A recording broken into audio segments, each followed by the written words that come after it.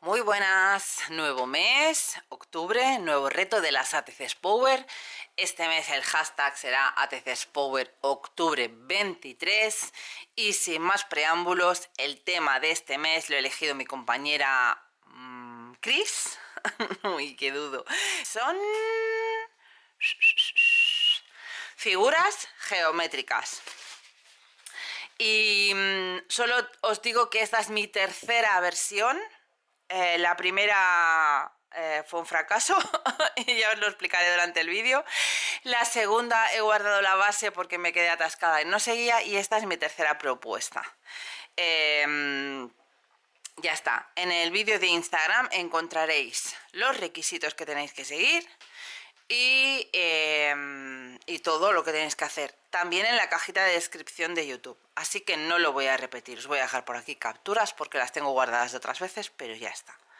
Solo sí que es verdad que os voy a recordar que si no tenéis la anotada, que primero reviséis si os falta algún requisito.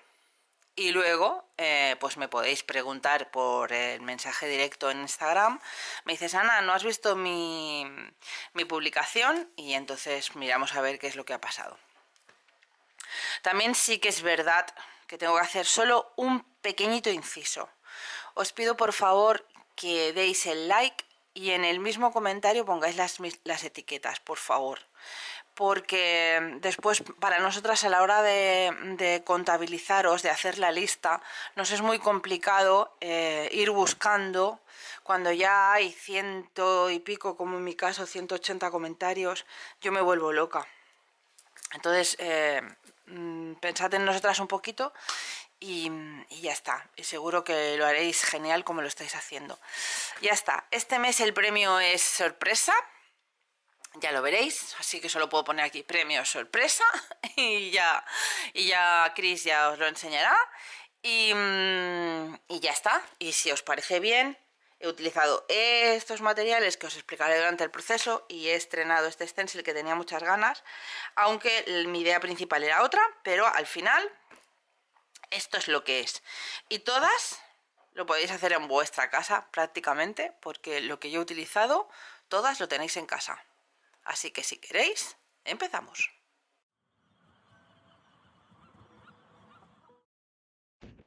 Venga, vamos a empezar. Esta vez he decidido utilizar cartón contracolado ya directamente para que aguante cualquier cosa porque, como os he explicado antes, son las terceras ATCs y no tenía nada claro qué iba a hacer, pero no quería que se me estropearan los papeles como me ha pasado en la primera y como en la segunda he tenido que poner por detrás papel porque se habían mojado demasiado. Bueno, ya, las veréis algún día o no, no lo sé.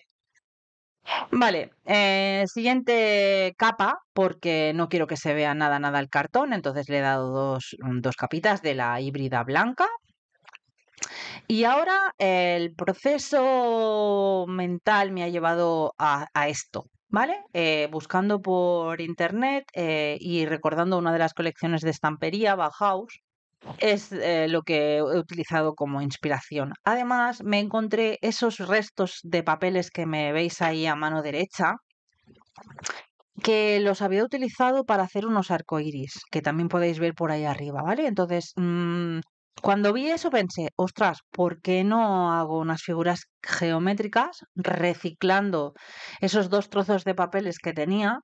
Y mm, dicho y hecho, eh, entre lo que había visto en Google y mm, esos papeles, ya por ahí ya, ya empezó a fluir la inspiración y ya veis, es muy fácil. Eh, una vez hechos los troqueles, eh, lo que hago es ir pegándolos por aquí y por allá como a mí me viene. Evidentemente no he buscado una obra y la he copiado, sino que el Bauhaus y ese estilo de arte me ha servido de inspiración para hacer lo que me ha ido fluyendo y he ido poniendo las piezas donde a mí me ha parecido y ya está, que es, en eso consiste la inspiración, ¿no? En ver algo y dejar que eso te inspire, no copiar exactamente. Vale, una vez ya he tenido, dijéramos, las piezas puestas, en este caso estoy poniendo gesso transparente y os explico para qué. Es para tapar el poquito pegamento que se me ha podido salir de alguna pieza, porque brillaba y no quería que se viera. Ya está, solo era para eso el gesso transparente. Vale, empiezo a entintar en negro Empiezo con la Archival porque en principio solo iba a hacer un marquito pequeño, pero en este tipo de arte siempre hay algunas líneas eh, o bien finas o bien más gruesas que hacen que se potencien estos colores así como básicos, ¿vale? Entonces, mm, bueno, mm, de momento la hago fina, pero después la haré más gruesa el marco. Con un rotulador voy oscureciendo algunas zonas y mm, ahora, aunque me gustaba mucho, la parte de abajo blanca la veía como muy vacía. Y aunque en este arte queda así, como esto es una interpretación libre, con el stencil de Colorful Grace, que es una emprendedora de nuestro país, eh, he puesto en algunas zonitas el por y un círculo, porque ese stencil se llama más o menos, es como de, de, matemáticas, ¿no? del más, del menos, de la multiplicación. Y entonces lo he puesto un poquito, como me podéis ver, en algunas zonas. Tampoco no lo he llenado, no lo he utilizado a cascoporro, sino que como veis me he hecho unas delimitaciones con la cinta de carrocero para solo estampar algunas cosas muy concretas. Las he estampado en fucsia, las he embosado en blanco, le he dado bastante calor para que sobresalga un poquito el fucsia de abajo y entonces ni queda blanco ni queda fucsia. Ese era el kit. Con alcohol isopropílico limpio bien el stencil porque si no esa tinta lo dejaría manchado y pasamos a otro tema.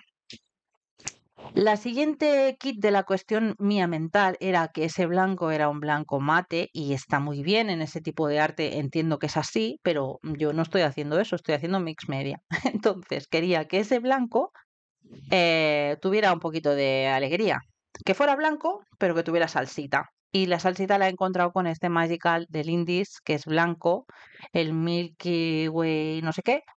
Y es un blanco muy perlado que sobre negro se ve mucho, pero es que sobre blanco también se ve. Después en las fotos de más de cerca veréis cómo ese blanco brilla y le da un plus a ese fondo para que no sea simplemente un blanco mate.